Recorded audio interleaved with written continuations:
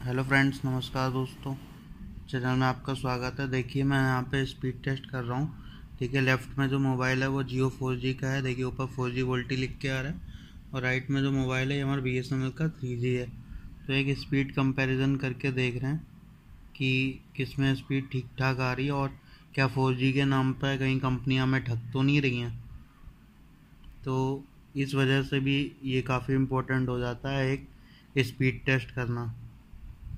क्योंकि हम खाली रिचार्ज कराते रहे और हमें स्पीड भी ना मिले, बस एक नाम के लिए हम सिम लेके घूमते रहें। तो ये भी सही नहीं है।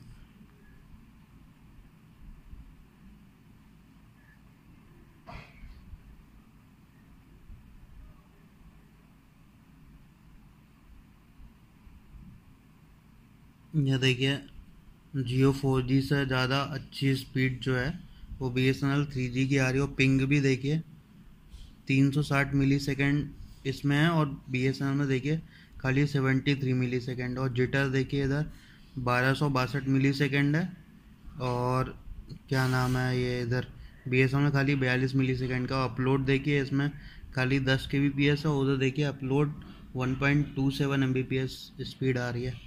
ठीक है तो बेटर है कि आप लोग चूज़ करें। तो एक बार खाली नाम के ना जाएँ कि जियो ही चल रहा है तो जियो का ही सिम लेना है। ठीक है? बाकी BSNL जो है, देखिए यहाँ पे काफ़ी सही स्पीड आ रही है इसके कंपैरिजन में। मतलब आप सोचो कि अगर BSNL के पास फोर होगा तो शायद ये इससे बेटर स्पीड दे पाए। ठीक है? तो अभी देखिए फोर में आपकी खाली 550 के बीपीएस की स्पीड आ रही है और थ्री में 850 के बीपीएस की मिल रही है। ठीक है तो इस वीडियो को आप लोग जितने भी BSNL के प्रेमी हैं लाइक करें शेयर करें चैनल को सब्सक्राइब करें। धन्यवाद।